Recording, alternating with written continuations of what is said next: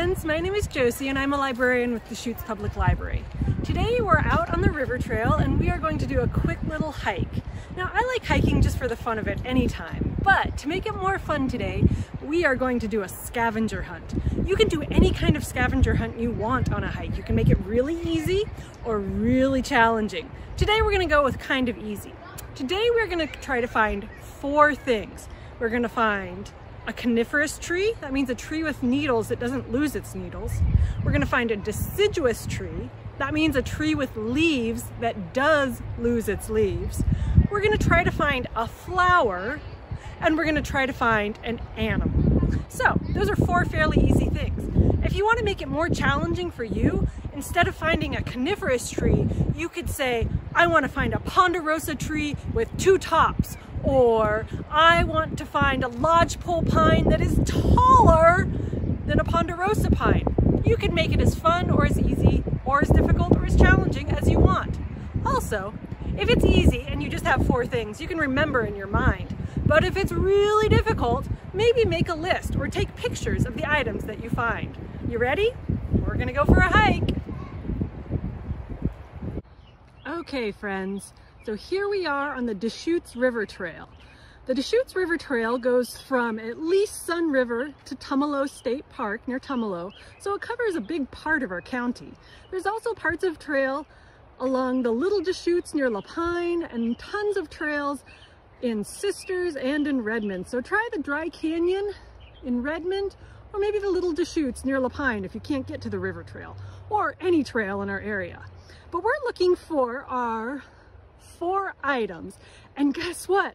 I think I've already found one.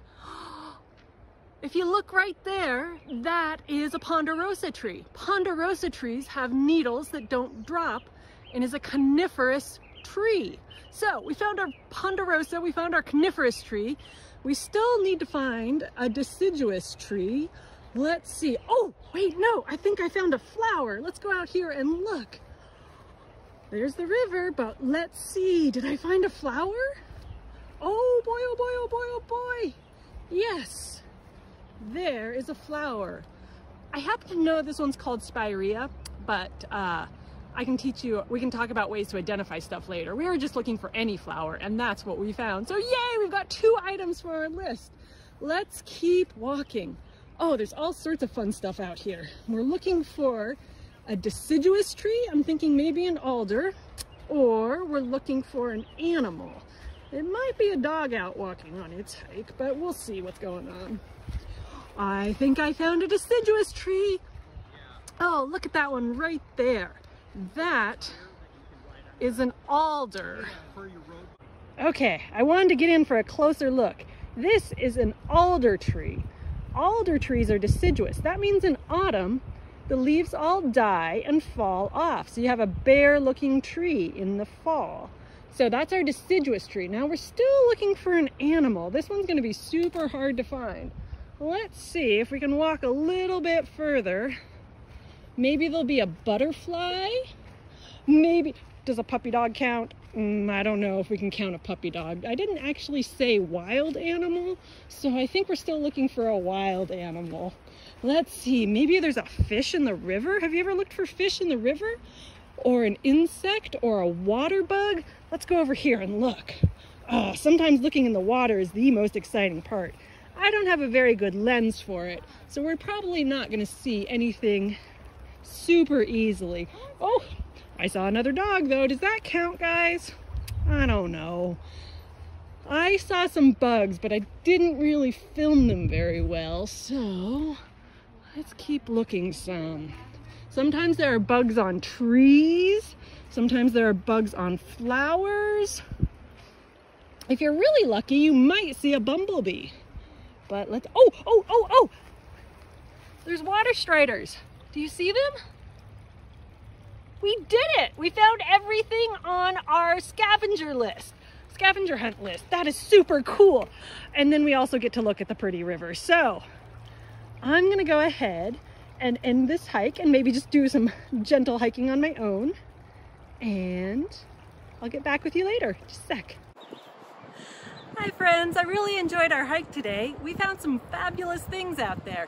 we found the things on our list, a deciduous tree, a coniferous tree, a flower, and an animal.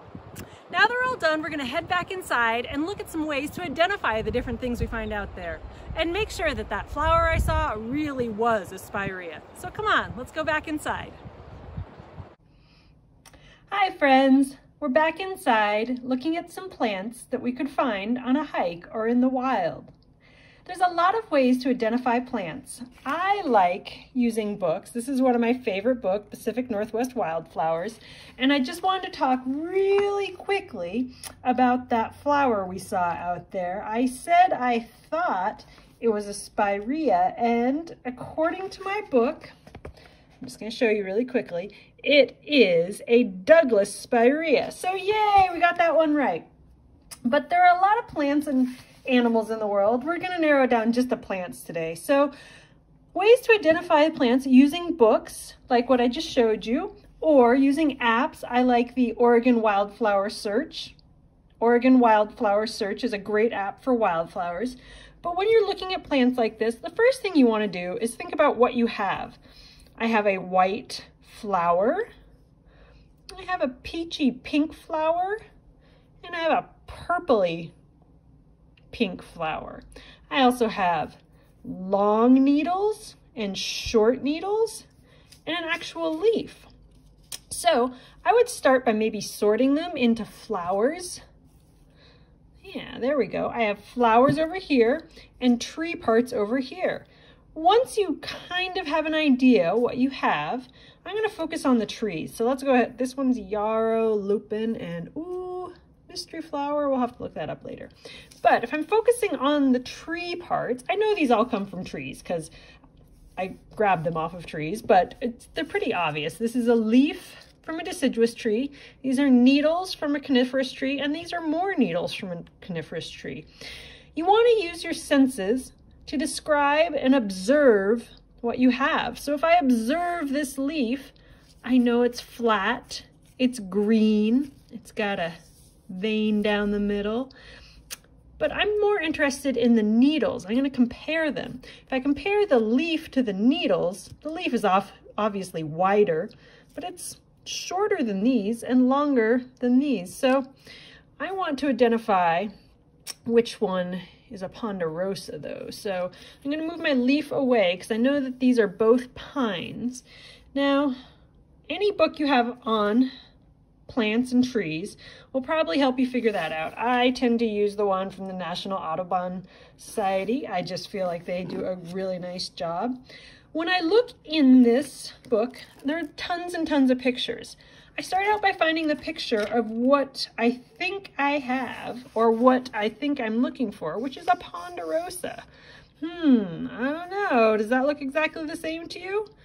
You can't always tell from a picture of the bark or the needles. So I go to the page that the tree will be further described. And when I'm on that page, I'm gonna get things like its size, its shape.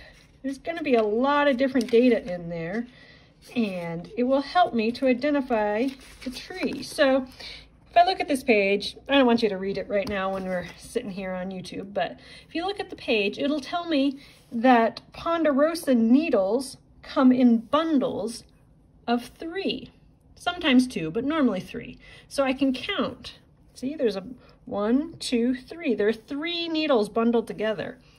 Does this one have three needles? No, it looks more like two. So we know that's probably not a ponderosa pine.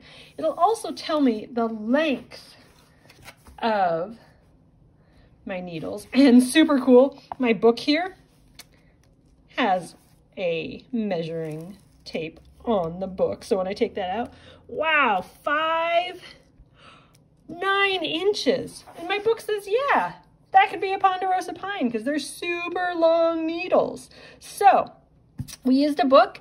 We used our senses, our um, observation skills, and a measuring tape to measure to find out that we have ponderosa pine needles. So there's a lot of different resources. You can either check out books from the library, use books that you might have around, or maybe use an app to help identify what you're looking at. Thank you so much for joining me today. I hope you have a wonderful time hiking, doing scavenger hunts, and having fun in the woods. Be safe this summer.